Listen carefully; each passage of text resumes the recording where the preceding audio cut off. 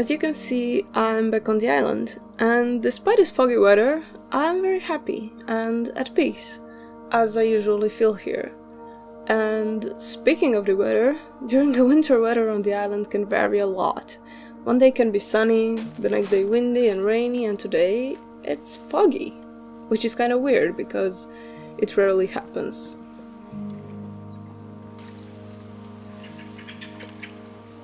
And this fog actually gave me an idea. Well, firstly, Happy New Year, and secondly, my idea is to climb to the second highest point of the island, which isn't even that high, it's just 540 meters, and we're gonna drive up there, so the walk is just 30 minutes long. Cheating. But yeah, I got the idea to go up there and catch some sun because people who live on the upper areas of the island told us that the fog is only down near the sea where we live and up there it's sunny. So I thought that it would be really interesting to uh, be under the sun and see the clouds down there. I think it will be beautiful. Um, yeah. But this is really weird because I was swimming like three days ago and it was sunny and now it's so dark and foggy and moody and I love that's what I love about the island life. I mean during the summer it's always the same. It's always sunny, but during the winter it's so different, it varies and you know you have uh, the winds, Bura and Yugo, and the seas, um, wavy, wavy. and then you have fog, and then you have sun and the calm sea. So every day it's so different. And I think that's really interesting and beautiful. So, yeah. But back to our story. I have no idea if up there is gonna be sun. Um, but if we don't explore, we will never know. So yeah, let's go explore. yeah. Hi guys. Hey guys, we are going on the work Werktruskavac. we are looking for the sun. There is no sun. wow, so sunny. Well,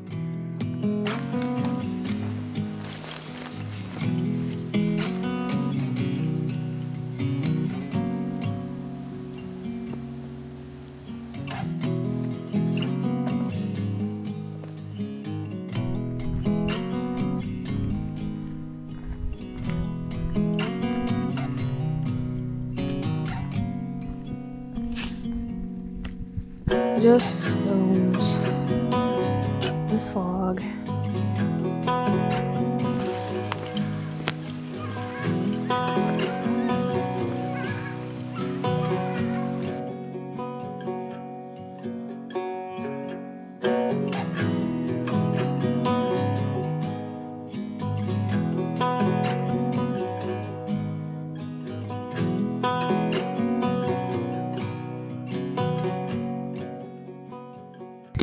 Maybe you're watching this and thinking that we are not really smart because we are hiking in this kind of weather, but it's not really a long hike. It's just 30 minutes and we know this road really well.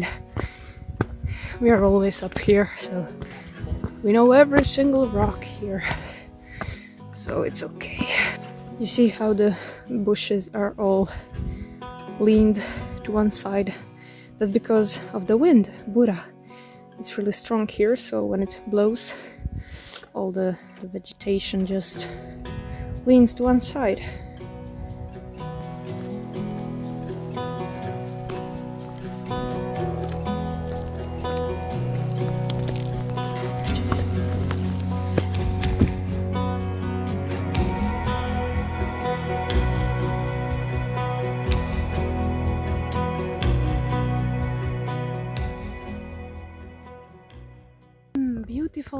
Day. We are very very happy Ajde više idemo! Okay.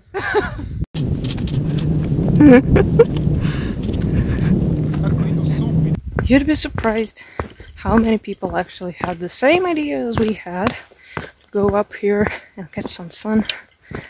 Uh, a lot of tourists, a lot of locals. Tourists are here because they came to celebrate New Year. And tomorrow is Monday, so I think they will all leave. But yeah, some tourists actually came here. Anyway, we are going home before the dark. So, bye bye bye.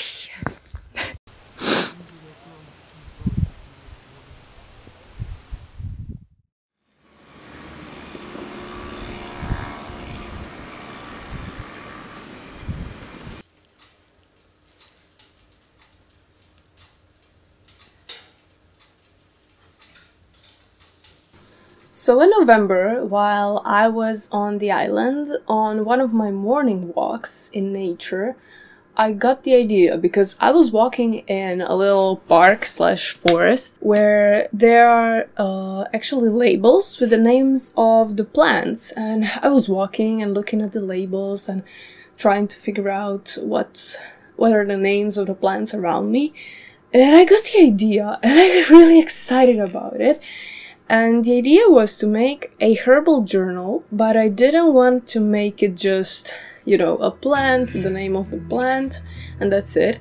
I really wanted to make it like a book of plants where I'll be explaining about a plant, uh, what is it good for, maybe some write some recipes in it, make it just aesthetically pleasing because I love design, I love when things look good and uh, I love drawing, so I was drawing a lot of a lot of uh, drawings for my herbal journal journal in Zagreb and here, so I could put them on the pages of my journal to make it beautiful and aesthetically pleasing as I like.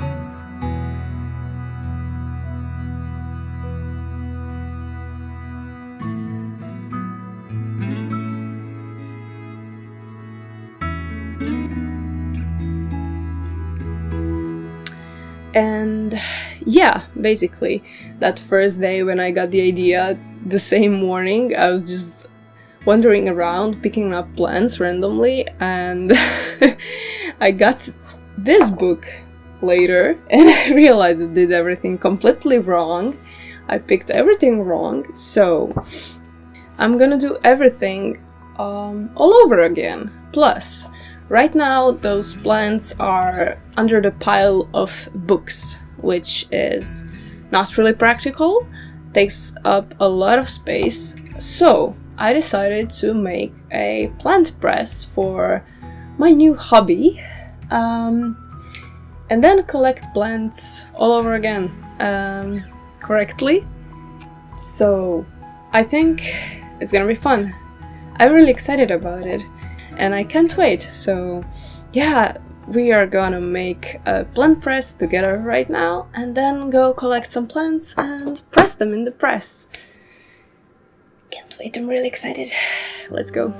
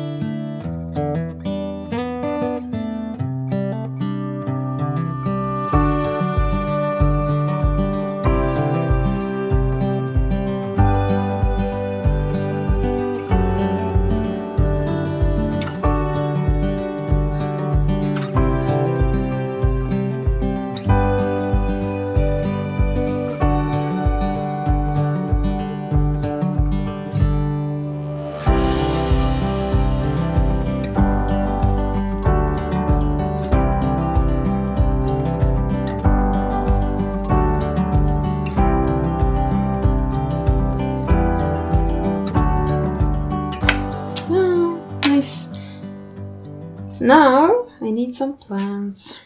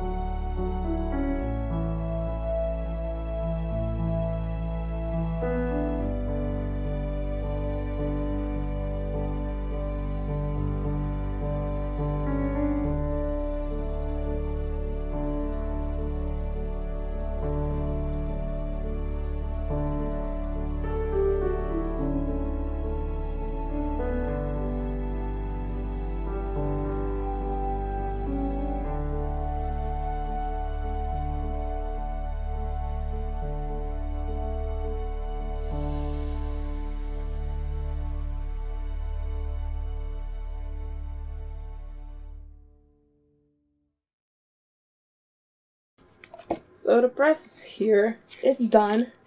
I love it. It doesn't take up a lot of space. It's practical. And I absolutely love when things are practical. So it's good. Um, yeah, I'm gonna put it uh, away. It's heavy. That's the first thing. And the second thing, I wanted to talk with you a little bit about some struggles I've been having with filming again. um, but I want to be honest and real up here, and that's what I'm always talking about the struggles because when you are watching a video on YouTube, it can seem like everything is just perfect, that the life is perfect, and that there are no problems at all. But that's obviously not the truth. So, the problem I've been having is that, you know, it's really hard to film videos. I knew that YouTube is hard, but I couldn't ever imagine it's this much work. For example, the thing that would usually take me 15 minutes to do, for example, this press, it took me two hours just because I had to change the angle of the camera like 30 times. Collecting those plants took me two hours. For three plants, I picked up just three plants and it took me two hours. And also, when I'm taking, for example, a walking scene, every single time I have to walk back to pick up the camera. And if I'm lucky, I'm gonna take it right on the first take, but it usually takes like five takes. And also I don't have autofocus, so I have to turn the mode to the photography mode, connect to my phone, go there, focus on myself, then uh, come back to the camera, turn it on the on the filming mode and then film and go walk and then go back and pick up the camera. So it's a lot of work. The second thing is that filming outside for me is so discomfortable, but that's kind of okay because I decided that this year, 2022, it's gonna be a year where I'm gonna expand my comfort zone because I realized that if I don't expand my comfort zone and if I don't face my fears, I'm gonna stuck in one place. And I really don't want to stuck in my place. I realize that I'm not doing things I would love to do just because I'm afraid of them and my comfort zone is like this. So, yeah, it's discomfortable to go film outside because uh, when people see you with a tripod and a camera, they ask you what you're doing because here people just know people. When you go out, whoever sees you probably knows you, and people are curious. And then, then you ask what you're doing, when you're going. And I don't feel like explaining it every time, so that's discomfortable. And the third thing is, I don't know how to find balance between having a moment and filming a moment. And that's that's not really good because when I'm not filming, I am in the moment. For example, if I go out to pick some plants, I'm slowly picking those plants, connecting with nature. Every time I pick a plant, I thank, for example, the tree. I say thank you and um, I listen to the sounds around me. I observe everything and it's just a beautiful experience. But if I go out to film that moment, I'm not. I'm not in the moment, you know, because I'm thinking about where I'm gonna put the camera, how I'm gonna angle it, where is the good lighting, you know, about just just rushing through rushing through the task and just thinking about filming and it's not really good. The problem is that I wasn't anymore having the real moments because I was taking the camera everywhere with me and I was filming like my life. I was filming everything in my life. I was taking my camera every single time and the problem was that I wasn't anymore having the moments for myself. I was filming everything and I exploded. I couldn't do that anymore. It was overwhelming. And I just said, uh, this isn't sustainable. I'm not gonna take my camera anywhere for two days. I'm not the, like, I'm not gonna do anything. And that helped, but I don't know how to find a balance because for me, I'm either gonna take the camera and film everything, or I'm not gonna take my camera at all and I'm just be in the moment completely. I don't know how to balance. If I take the camera, I don't know how to balance between filming and not filming, so there is no balance for me, and yeah, that's overwhelming and I have to learn how to balance it. And if there are any creators out there on the internet who know how to balance these things, who figured it out, please let me know because I don't know. I have no idea. I have to learn that. Yeah, that's basically all I wanted to say.